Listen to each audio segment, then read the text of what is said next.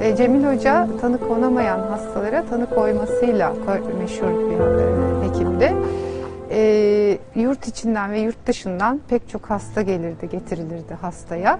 Çoğu zaman kapıdan girer girmez hastanın tanısına tanısını koyduğuna şahit olmuşluğumuz vardır. Ama fizik muayeneye çok önem verirdi, anamneze, hikayeye.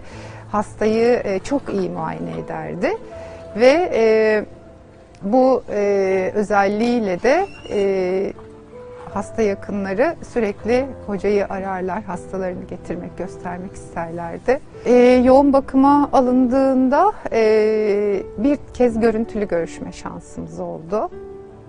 Basınçlı oksijen alıyordu. Yine orada yine güzel şeyler söyledik birbirimize, güzel sevgi sözcükleri. Geleceğe dair hiç olumsuz bir şey konuşmadık. Hep olumlu, hep güzel şeyler. Cemil Hoca da gene o kahraman duruşuyla duruyordu zaten. Gene e, tedavisini, kendi tedavisini düzenlemeye çalışıyordu. Cesurdu, dikti, e, sakindi. Kitaplar istedi göndermemi. Yoğun bakımda kitap okumaya devam etti. E, sonra entübe olmadan önce aradı beni. Ona entübe edeceklerini söyledi. Bir süre konuştuk. Güzel şeyler söyledik birbirimize. Olumsuz hiçbir şey konuşmadık. Hep güzel şeylerden bahsettik.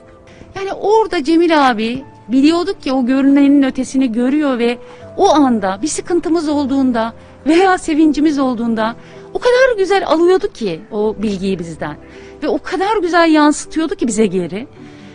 Bu büyük bir konfordu. Biz yani çok değerli bir insanı, hayata bakış açımızı geliştiren bir insanı, ışığımızı kaybetmiş.